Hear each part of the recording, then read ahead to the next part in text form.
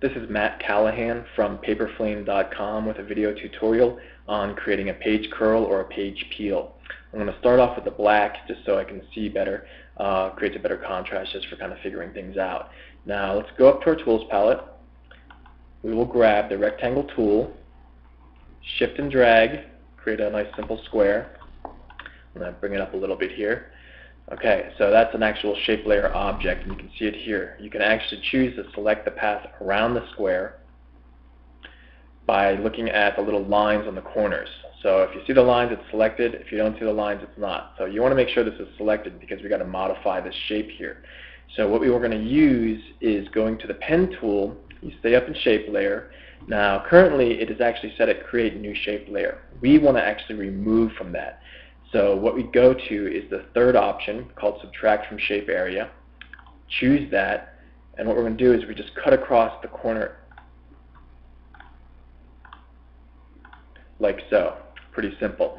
Now you, of course you can go over here and reselect or not select. So what we're going to do here is start to create the actual page corner here that's actually peeled over or folded over or bent over, whichever way you want to see it.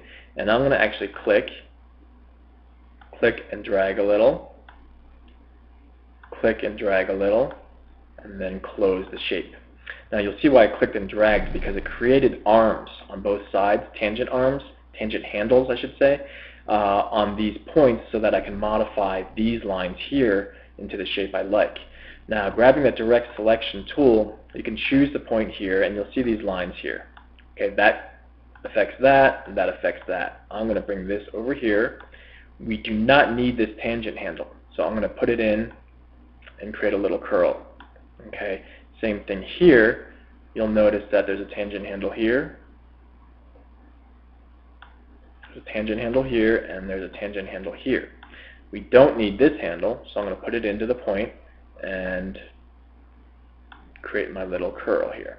Uh, you can just mess around with this until you think it looks good. And takes a little uh, getting used to using the pen tool. Now I'm going to reposition the corners so that they are more or less right on top where I need them to be. And you can, of course, zoom in a little bit to make sure that you're there. Now, looks pretty good for all intents and purposes.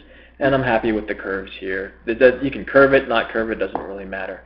Okay, so that's the little dog ear or the page curl. Okay, and you'll see the shapes here. Shape 1 is the bottom, and shape 2 is the actual dog ear or the page curl. So what we want to do now is add some gradient real quick. Um, I'm going to start off at the bottom, okay? And all you do is you go to Layer, Layer Style, Gradient Overlay. I'm going to open it up. Actually, let's remove this color stop. This side I'm going to go with a darker red and this side I will go with a, a nice light red and you can see the gradient here. Now this gradient goes up and down. We want a 45 degree angle so let's OK this and what we will do is then go in and change this to 45 degrees. You'll see it now goes gradient left to right at an angle of 45 degrees. Uh, I'm going to say OK to that. Now let's choose shape 2 and we're going to do the same thing. So let's just go to Layer, Layer Style, gradient overlay. Now, we actually want to shine. A lot of these have a shine here and they're dark on the edges, so this actually is a three-color curve, or a three-color gradient, I should call it. So let's open it up. We want the tip here to be a nice dark red. We want the edge to be a dark red also because of shadowing. We want the center I'm going to go with a red and even add a little white into it just to get it really light. Now you notice the gradient once again is up and down. So let's just OK it, change it to 45 degrees, and you can kind of see how it's working. It's actually starting to work out pretty nicely, but we can modify this by going back into it. And you can see there's, I'm going to make this side a little darker.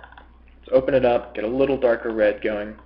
Okay, now we can slide the color stop to where we want until we're happy with where the actual gradient fits nicely. Okay, now you'll notice there's no dark in the backside, so we can bring this backside in till we start seeing that dark.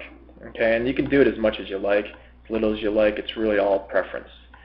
So we can move this in a little bit, looks pretty good, not too bad. Um, for all intents and purposes, let's just stick with that. There's also midpoints that you can move around and play with, these color midpoints, and that's just, it's really all just preference. So let's OK this, OK that, and there's our page curl. Pretty basic, pretty simple, it's starting to look good. Um, now what I'm going to do is just add a little drop shadow. So what we'll do is we go into here, we're going to stay on this ear, okay, on this page curl. So let's go up here to Layer, Layer Style, I'm going to choose drop shadow. Okay, it actually comes good, you know, right off the bat. that We don't really have to do too much. I'm going to probably just lower the opacity a little bit just to make it not so blatant. And I think that's pretty good right there. You can play with the distance, spread, and the size, of course, but it's all preference. So let's stick with that. Now I'm going to go to shape 1, which is the lower.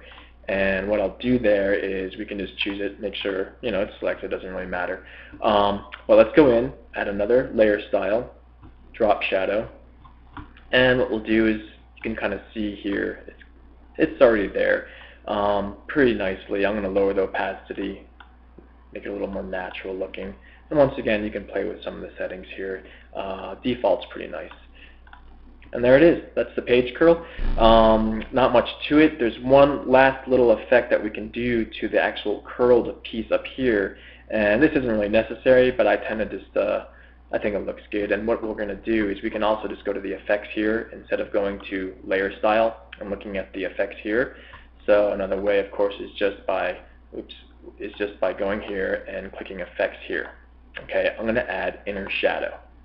Now you can see the inner shadow is way too strong there. So I'm going to probably let's see, let's just go down a little bit. You can see what nothing is and see what the max is, and then just kind of slide it around. We just want a slight little touch, nothing nothing too much. And there we go. I'm going to deselect this so we can get rid of the path that was surrounding it. And that's the page curl. It's a really easy effect. It's a great effect. It can be used for all different kinds of things, for making you know things look like stickers or whatever it may be. Um, it could be a circle. I mean, we could have a circle here. We could have any kind of oblong, blobby kind of shape with a curl from the tip. Um, it doesn't really matter. It's uh, it's how you want to use it, and it's a really uh, great effect once again. And that's about it. I uh, hope you like the tutorial. It's pretty easy, and you can find more tutorials over at paperflame.com.